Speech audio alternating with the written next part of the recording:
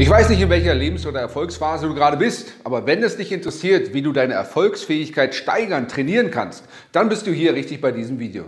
Mein Name ist Daniel Schäfer und ich bin nicht nur Geschäftsführer des X-Group Instituts für Gründung, Finanzierung, Geschäftsentwicklung, sondern ich habe auch viele andere Projekte zu laufen, studiere nebenbei, bin nebenbei als Musiker tätig, schreibe an Büchern und bin auch in vielen anderen Projekten eingebunden. Und das, was mich interessiert, ist nicht nur die Ziele zu erreichen, sondern vor allen Dingen besser zu werden, ein Mensch zu werden, der mehr Erfolgsfähigkeiten hat. Und eine kleine Lektion oder ein Trainingsgebiet, eine Übung, die kann ich dir heute mitteilen. Wie lautet nun diese Übung, mit der du deine Erfolgsfähigkeit trainieren kannst? Sie ist ganz einfach und die kostet auch nicht viel. Sie kostet dich genau 1 Euro. Wenn du jetzt diesen einen Euro nimmst, vielleicht jetzt gerade in deine Tasche greifst, dann gibt es drei Möglichkeiten, was du damit machen kannst. Die erste Möglichkeit ist, du gibst diesen Euro einfach aus, dann ist er weg. Du kaufst dir was zu essen, irgendetwas Süßes, ein paar Schrippen und konsumierst, verbrauchst also diesen Euro. Die zweite Möglichkeit ist, dass du diesen Euro nimmst, vielleicht in deine Schublade oder in deine Spardose steckst und dann ist er weg. Der wird zwar nicht weniger, außer vielleicht durch die Inflation über die nächsten Jahre und Jahrzehnte, aber er wird garantiert dort auch nicht mehr. Und die dritte Möglichkeit ist, dass du diesen Euro investierst, dass du beispielsweise ein bisschen Obst einkaufst für eine Nachbarin, die sagt, Mensch, ich bin zu alt, um selbst einkaufen zu gehen und vielen Dank, dass Sie mir dieses Obst vorbeigebracht haben. Hier haben Sie zwei Euro.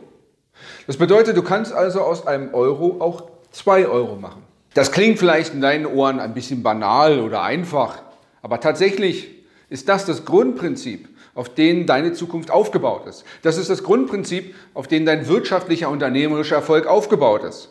Denn wenn du zu den zehn Mitarbeitern gehörst, du bekommst also Ressourcen und verbrauchst diese, ohne dass du damit eine Ernte einführst, dann wird sich dein Unternehmen auflösen. Dann wirst du mit 1000, 10.000, 100.000, mit einer Million Euro, egal wie viel Geld du hast, wenn du damit startest, es wird von Tag zu Tag, von Woche zu Woche immer weniger, bis du dann schließlich insolvent bist und das Unternehmen schließen musst. Und die zweite Gruppe von Menschen sind, die haben zwar anvertraute Güter, die haben anvertraute Talente, also entweder Geld oder Maschinen oder Grundstücke oder Fähigkeiten, aber sie setzen es nicht zum Wohl von anderen Menschen ein. Sie investieren es nicht, sondern packen es in Sparkonto, in die Spardose oder lassen es einfach brach liegen, wenn sie Grundbesitz haben.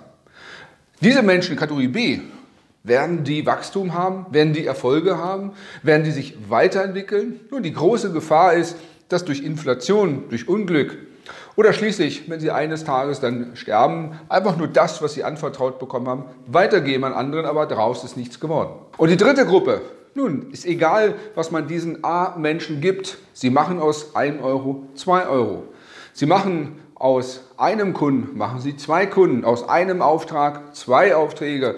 Sie machen aus einem Unternehmen vielleicht noch ein zweites Unternehmen, in dem Sie eine zweite Niederlassung aufbauen.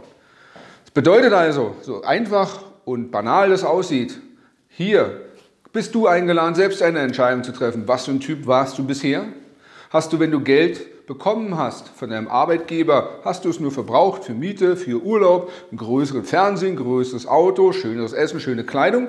Oder hast du Geld davon beiseite gepackt und hast es investiert, um daraus mehr zu machen? Damit du auch motiviert bist, dass es sich lohnt, so eine A-Person zu sein, gibt es eine alte Geschichte aus dem Persien, wo ein schlauer junger Mann dem König ein Schachbrett geschenkt hat.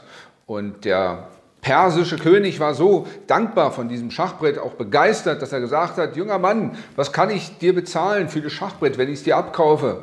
Und da meinte der junge Mann, nun, ich will kein Geld haben, ich will einfach nur ein Reiskorn haben, was du auf das erste Feld legst. Und dann sollte dieses Reiskorn sich verdoppeln, von 1 auf 2, von 2 auf 4, von 4 auf 8. Und da sagte der persische König, nun, das bisschen Reis, das kann ich dir gerne geben, der Deal ist gemacht.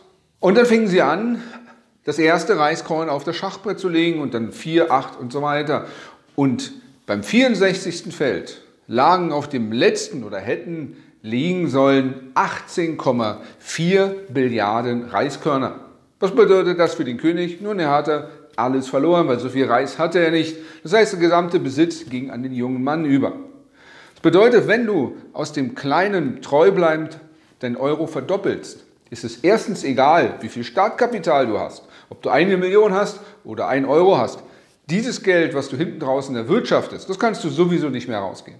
Das heißt, es ist nicht nur egal, wie, mit wie viel Geld du startest. Du kannst mit einem Euro anfangen. Viel wichtiger ist, dass du darauf achtest, kein B- oder C-Mensch zu werden. Jemand, der nur aufrecht erhält oder jemand, der das ausgibt zum eigenen Konsum. Deshalb achte darauf, dass du jeden Euro, den du hast, jede Maschine, aber auch deine Zeit und deine Talente, deine Fähigkeiten so investierst, dass du sie verdoppeln kannst. Jetzt fragst du dich vielleicht zum Abschluss, ja, wie geht denn das Verdoppeln? Nun, wenn du einfach das, den Euro auf die Straße legst oder verschenkst, das ist unwahrscheinlich, dass was zurückkommt. Sondern hier ist dein unternehmerisch Denken und Handeln gefragt, zu gucken, wo du mit diesem Euro ein Problem lösen kannst von anderen Menschen. So wie bei der Rentnerin, die zu Hause nicht mehr in der Lage war, selbst sich das Obst zu kaufen. Ihr hast du eine Dienstleistung angeboten, nämlich das Obst zu transportieren. Und du hast deine Zeit investiert und hast aus dem 1 Euro Wareneinsatz dann 2 Euro Einnahme gemacht. Und so ist die Wirtschaft aufgebaut, dass du dir also Möglichkeiten suchst, wo du anderen Menschen Probleme lösen kannst und die dich bezahlen. Das heißt, wenn du mit einem Euro etwas einkaufst und für zwei Euro weiterverkaufst, ist das eine Möglichkeit, wie du verdoppeln kannst. Aber denke bitte hier nicht nur an Geld. Denke vor allen Dingen auch an deine Zeit, die du hast, dass du die Stunden, die du am Tag oder in der Woche hast, investierst in andere Menschen. Die meisten sind deshalb nicht erfolgreich, weil sie den größten Zeitraum verbringen zu Hause auf der Couch, vom Fernseher, von Netflix, beim Fußball gucken, indem sie anderen Menschen dabei zugucken, wie die erfolgreich werden. Und das ist egal, ob du in ein Fußballstadion gehst, es ist egal, ob du dich in einen Kinofilm setzt, du guckst dabei zu, wie andere Menschen erfolgreich werden und du dienst anderen Menschen nicht, sondern du gibst anderen Menschen die Möglichkeit, dir zu dienen.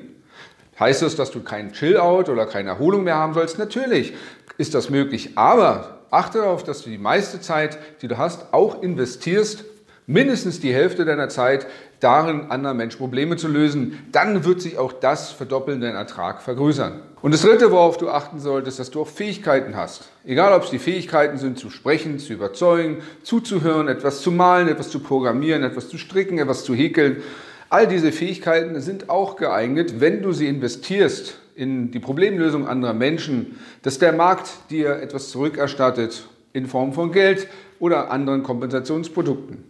Und du bist eingeladen, all dein Besitz, all deine Fähigkeiten, all deine Zeit, all dein Geld zu überlegen, wie kannst du es einsetzen, dass es sich verdoppelt, dass es mehr wird. Und wenn du diesen neuen Gedanken, dieses Muster installierst, dann ist nur eine Frage der Zeit, wann du dann 64 Euro aus einem hast oder 1000 oder Millionen oder sogar Milliarden. Die Entscheidung liegt heute bei dir. Wenn du dabei Unterstützung brauchst, dann kannst du gerne einen Gutschein nutzen für ein kostenfreies Erstgespräch.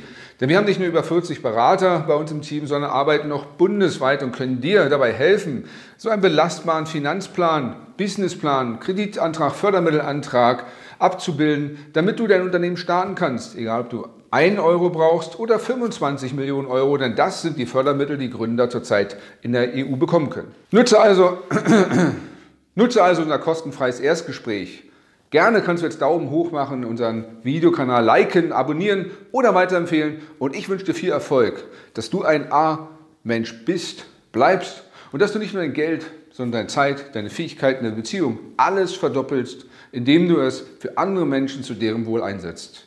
Dein Daniel Schäfer. Vielen Dank, dass du unser Video zu Ende geschaut hast und gerne kannst du unseren Gutschein nutzen für ein kostenfreies Erstgespräch. Den Termin kannst du vereinbaren, entweder über unsere Webseite oder über unsere Hotline. Dann kannst du auf über 40 Experten von uns zurückgreifen, die bundesweit beraten. Und weil wir zertifiziert sind, kriegst du die Beratung auch noch bezuschusst. Und zwar von 50 bis 100 Prozent. Jetzt kannst du unseren Kanal abonnieren oder uns weiterempfehlen. Ich wünsche dir viel Erfolg, dein Daniel Schäfer.